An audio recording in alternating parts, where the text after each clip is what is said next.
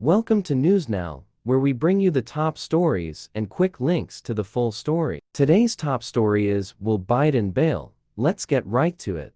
Well, concerns are also growing on Capitol Hill in the wake of President Biden's poor debate performance. While some Democratic lawmakers say that they stand firmly behind his reelection campaign, there are also some clear signs that some of his support is wavering.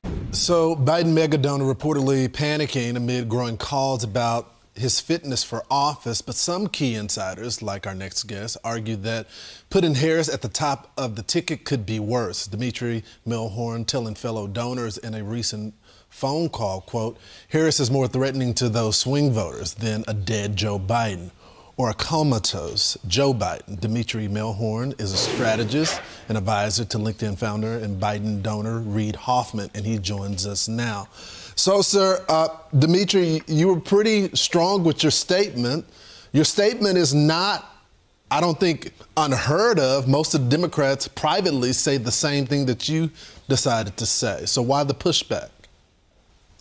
Uh, so, first of all, just so you know, uh, that was private. Uh, that was the end of an hour-long call, and uh, people in your profession got uh, got access and uh, reported it.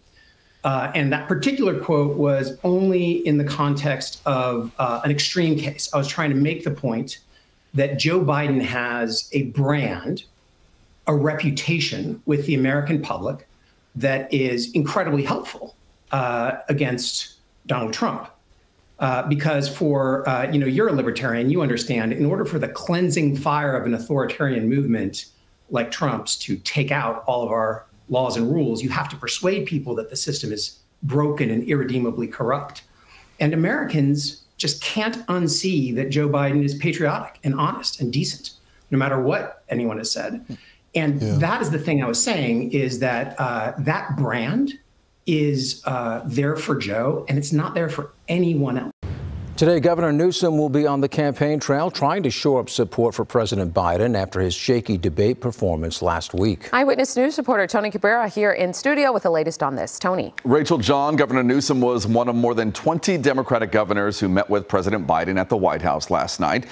Governor Newsom agrees, saying he's all in for Biden, knowing Biden's all in and he is not wasting any time. Today, Newsom is stopping in Michigan for several Biden campaign events. He'll then make stops in Pennsylvania and New Hampshire throughout the weekend. We're told he'll try to energize voters and remind them of what Democrats think is at stake this November if former President Trump wins the election. Calls for President Biden to withdraw from the presidential race are reportedly growing within his own party. In the wake of his disastrous debate, at least 25 Democratic members of Congress are said to be ready to call on Biden to step down. This comes as the New York Times reports Biden told a key ally that he was weighing whether or not to remain in the race. Les Trent reports. The president is reportedly acknowledging today that he may be forced to drop out. The president has privately acknowledged that the next stretch of days are going to be so critical to the question of whether he can save his reelection campaign. Former President Trump, uh, speaking of which, gaining two points since the debate. He now leads President Biden by eight in a new poll out this afternoon from the New York Times and Siena College. Meantime, over at CNN, take a listen to the senior data reporter Henry, uh, Harry Enten.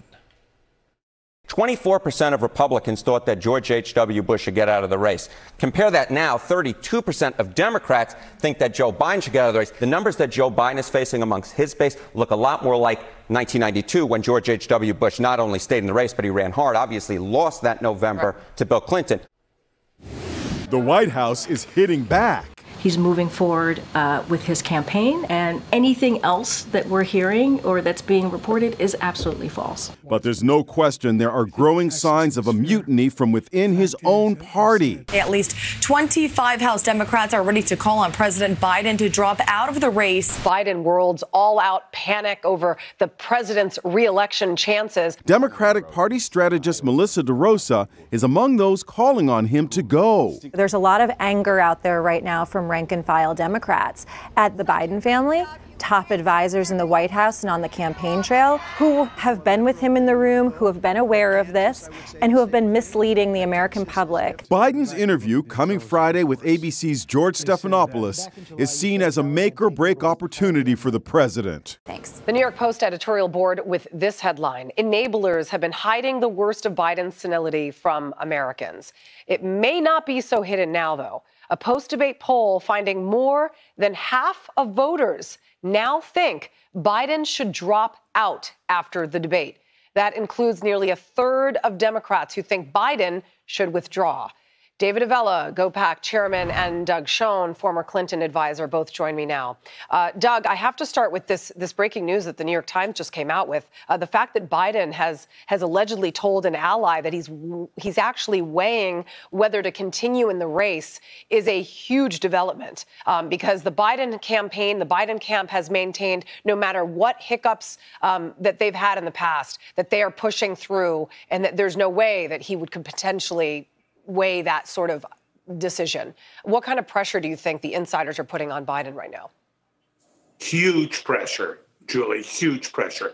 And the fact of the matter is, despite what the Biden campaign says, if the Democratic establishment, the congressional leadership, the uh, uh, root, uh, uh grassroots of the party say he can't handle a campaign, he's not up to the job, he's too old, and the leadership of the party, uh, Presidents Obama and Clinton, the congressional leadership, say the same thing publicly or privately. Joe Biden will have no choice but to drop out. He cannot sustain a campaign if the party turns against him. And Julie, everything I'm seeing now is that is both happening and happening with great rapidity. Please like and subscribe to keep getting headline news from both sides.